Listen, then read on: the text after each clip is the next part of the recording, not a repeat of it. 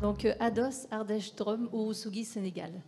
Donc c'est une association qui est basée à Bourg-les-Valences dans la Drôme et à Matam dans la région de Matam, donc au Sénégal, à la frontière de Mauritanie. Ah, vous êtes spécifique Sénégal Spécifique Sénégal.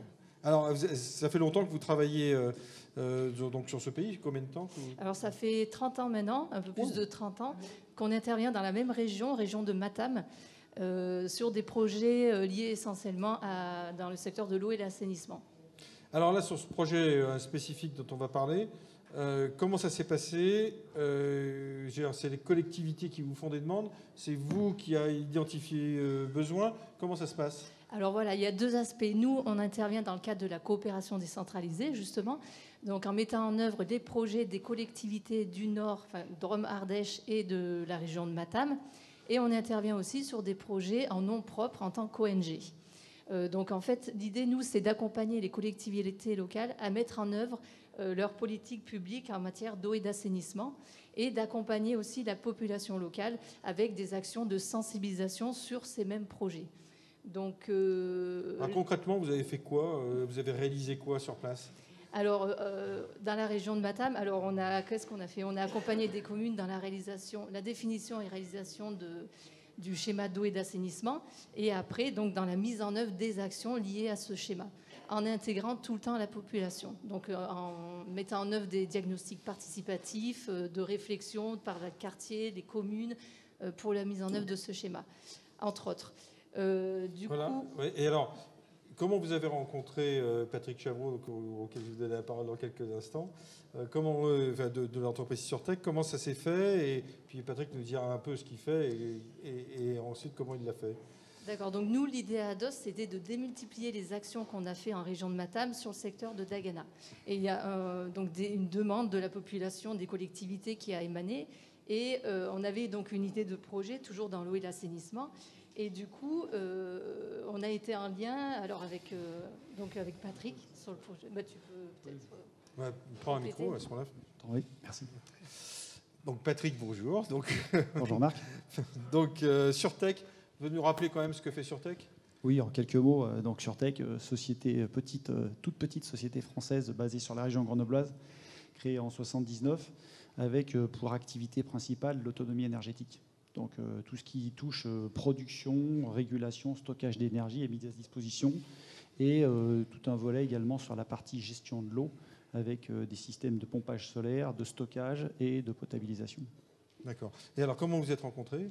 Alors, en fait, euh, Surtech est membre de Ténardis. Euh, et euh, Surtech a. Votre voisine. Ma voisine de gauche, mmh, mmh. qui se présentera après, Ingrid. Euh, et Surtech est rentré dès le début dans un projet qui a été monté par la, le, l'Association internationale de, la solidarité euh, qui est sur le Grand Genève, euh, qui est représentée euh, aujourd'hui par Marion, qui, ont lancé donc un projet qui s'appelle Coexist, pour mettre, qui est une plateforme pour mettre en relation des entreprises et des ONG, pour justement avoir cet aspect démultiplicateur de du savoir-faire on va dire, plutôt théorique ou du niveau dimensionnement et fourniture de produits des entreprises et l'aspect, on va dire, contact en local euh, et euh, collecte des besoins locaux des, des, des, populations locales pour des, besoins de ce type-là. Voilà. Donc l'objectif, c'est de faire, de, faire travailler tous ces, tous ces gens-là ensemble. Quoi. Et alors, si je peux poser une question, donc là aussi, c'est l'ONG qui a été votre donneur d'ordre, si je comprends bien. Oui. et alors vous, vous avez trouvé l'argent où? Des dons, peut-être à l'association Ah non, non, alors là, ça rentre dans le cadre de l'appel à projet lancé par la région Rhône-Alpes et l'agence de l'eau. Voilà, essentiellement. Après, on cherche d'autres fonds. On en a trouvé, on en cherche encore. Euh, voilà. On parlait de l'AFD. Euh, c'est un bailleur de fonds pour vous euh, Alors, j'ai dit Région Rhône-Alpes et Agence de l'eau. Alors, l'AFD, on est avec eux sur d'autres projets. Pas, sur celui-là, mais Je pense que la, taille du projet n'est peut-être pas dans le scope de ce que peut faire l'AFD. Et vous, sur Tech, vous en faites souvent? On en fait, on a, plutôt des tendances, jusqu'à maintenant, historiquement, on travaillait plutôt avec d'autres entreprises. Donc euh, on travaille notamment avec Vernier Hydro qui va passer, qui va témoigner sur un autre projet juste après.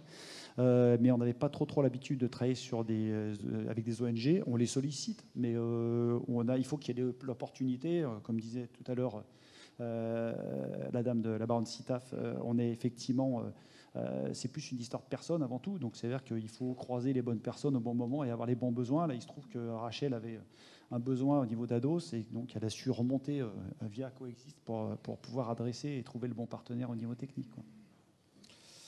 Ok, bon bah super. Et pour vous, euh, entre guillemets, c'est rentable? Excusez-moi de poser la question. Enfin, vous n'allez pas en face de, en face de l'ONG. Je, vais répéter euh, ce qu'a ce dit Madame Lartigot euh, il y a quelques minutes. C'est qu'en fait, c'est à la fois c'est des projets qui sont intéressants parce que c'est avant tout des rencontres. C'est à la fois pouvoir découvrir bah, des nouveaux pays parce que même si on peut être déjà amené à travailler à l'export avec des ONG, c'est une approche qui est, un peu différente au niveau business, on va dire, clairement.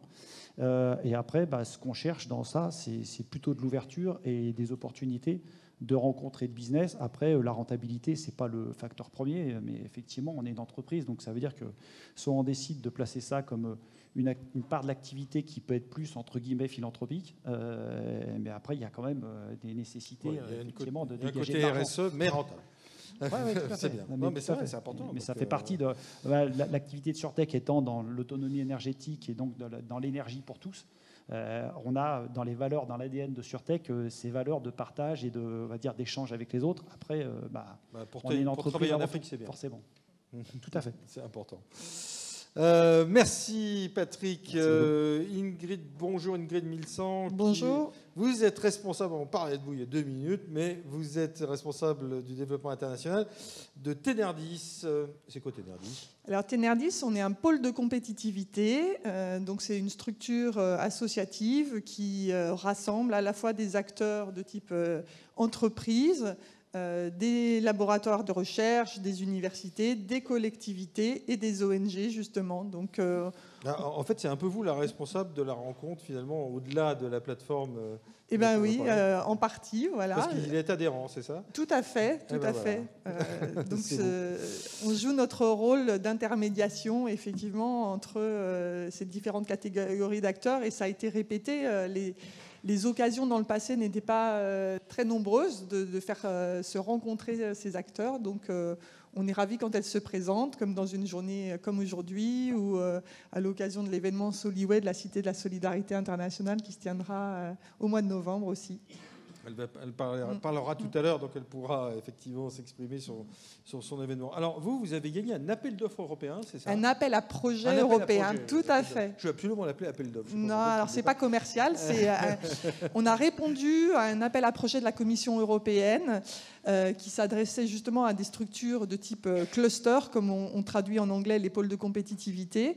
Et euh, Tenerdis euh, est euh, donc leader d'un consortium associant quatre clusters au total. On travaille avec des clusters belges, espagnols et italiens. Et on a remporté ce projet qui vise à, accompagner nos PME à l'international sur trois pays cibles, la Tunisie, le Maroc et le Sénégal. Euh, donc euh, pour nous, c'est très important. Euh, ça va nous, nous, permettre d'enclencher la vitesse supérieure dans nos actions à l'international sur ces trois pays. Et donc, vous allez faire quoi alors? Eh ben, on va accompagner euh, nos entreprises pour qu'elles rencontrent euh, sur place justement euh, des tas d'acteurs avec lesquels on espère qu'elles pourront nouer des collaborations. Donc pas uniquement des entreprises, également des ONG ou des universités, des centres de formation, tout type d'acteurs, des collectivités. Voilà. Peut-être rajouter un petit mot sur le club Afrique justement, parce que c'était euh, aussi grâce au Club Afrique qu'on a pu euh, se mettre en lien. Tout à fait. Donc en fait, ce projet, euh, l'idée de ce projet européen, elle n'est pas née de nulle part. Elle correspond effectivement à, une stratégie du pôle de, cibler l'Afrique en particulier dans nos actions à l'international. Et donc, ça fait maintenant bientôt deux ans qu'on anime au sein du pôle un Club Afrique pour, qui rassemble euh, les acteurs justement membres euh, de Ténerdis qui s'intéressent à cette géographie et euh, qui nous permettent bah, d'échanger beaucoup de contacts utiles pour justement aller développer des projets sur ce continent.